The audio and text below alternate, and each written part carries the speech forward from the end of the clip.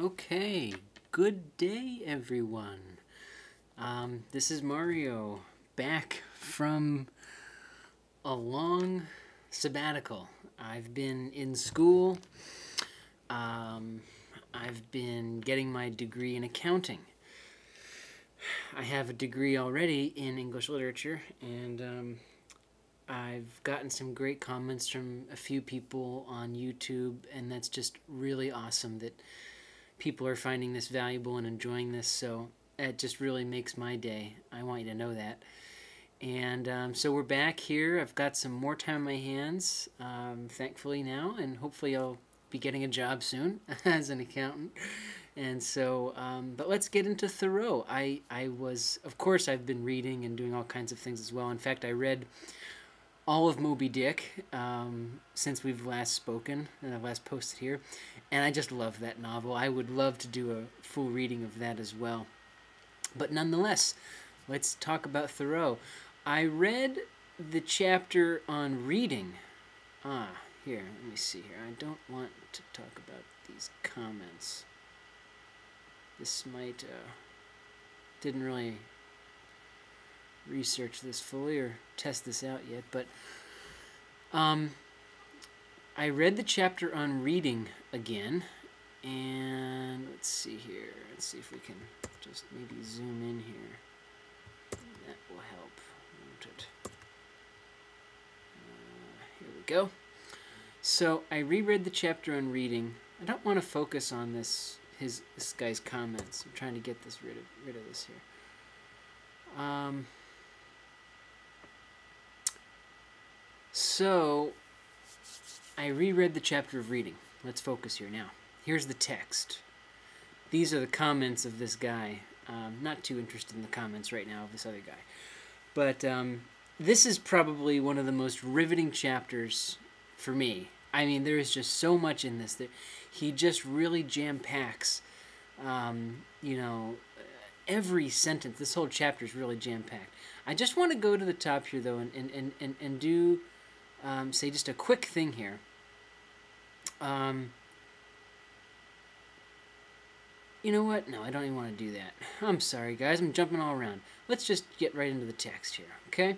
So I'm jumping ahead. You know, um, we're skipping. I'm just going to do like a little chapter here on reading and talk a bit about what Thoreau has to say about that. So bear with me. We will go back to the beginning of Walden and go through it, you know, kind of sort of chapter by chapter. But I just want to put this chapter out here because it was just so riveting for me and inspirational to read.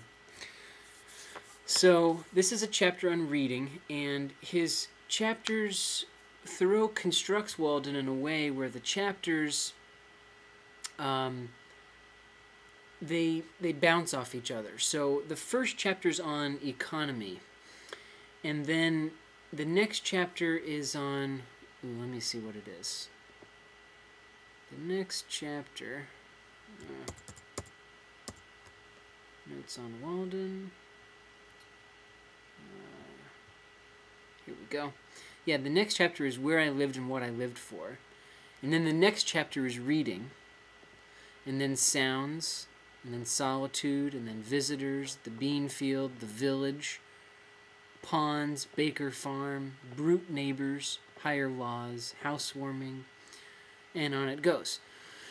But generally speaking, there's a sort of a pattern with the chapters where it goes interior, exterior, interior, exterior, interior, exterior, interior, exterior. So focusing on his internal process and then focusing on his the people outside of him. So the the text itself has a structure. And so where are we with reading? Reading is one of the interior structures. So it's a focus on his internal consciousness. And so with that in mind, let's let's let's read this. Let's just start reading because it is really beautiful. So, okay with a little more deliberation. Just a quick note already. Deliberation is a huge part of Walden Pond, one of the most famous lines. Um, and let's see if we can just pull it up. Uh, to live deliberately. Here. brought up a quote already.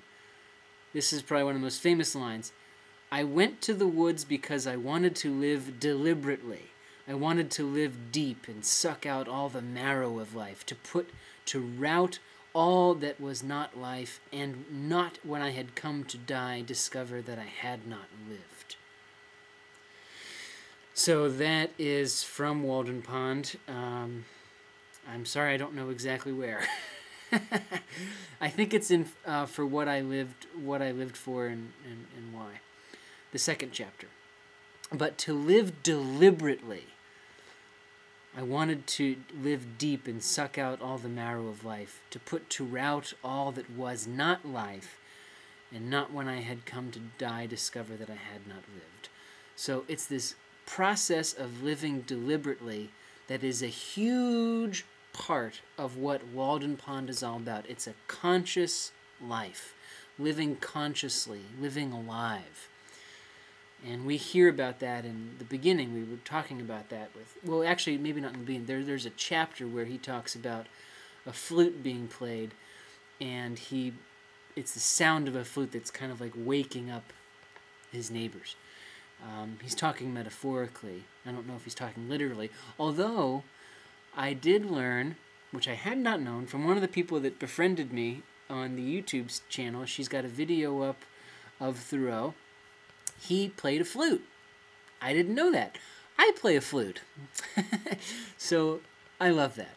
Um, but let's get back to this. So, deliberation. With a little more deliberation, little more deliberation in their choice of their pursuits. Okay, so right there, boom, we've already got living life more deliberately, choosing how you want to allocate your time. All men would perhaps become essentially students and observers, for certainly their nature and destiny are interesting to all alike. Interesting lines, would you not say? In accumulating property for ourselves or our posterity, Occupy Wall Street, in founding a family or a state, Greece, or acquiring fame, even, Kim Kardashian, we are mortal. So that's like all of this stuff in this world, it's all going to go away. And that's biblical. He's preaching to us in a sense. But in dealing with truth, we are immortal and need fear no change nor accident. Powerful, powerful statements. Let's just quickly take this back here. So he's connecting up truth, dealing with truth, whoops, dealing with truth as related to becoming students and observers. For certainly their nature and destiny are interesting to all alike. so, part of dealing with truth is a process of being a student. So, I'm liking that to being humbled, being uh, available, open to learning something new. So, you don't have all the answers.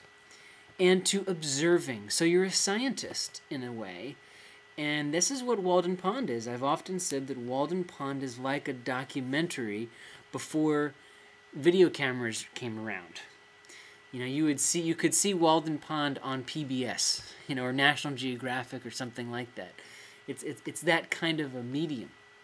And he's really observing his world. In fact, the natural the he was in uh, honored with uh, a uh, honorary, you know, invitation to the Naturalist Society or something like that. He declined it apparently, but nonetheless, he was honored with that. So, observation and willingness to learn and humility. Okay. That's how we deal with truth. And in that we become immortal. Now, if you know anything about Shakespeare, Shakespeare talks about immortality in his sonnets, and we learn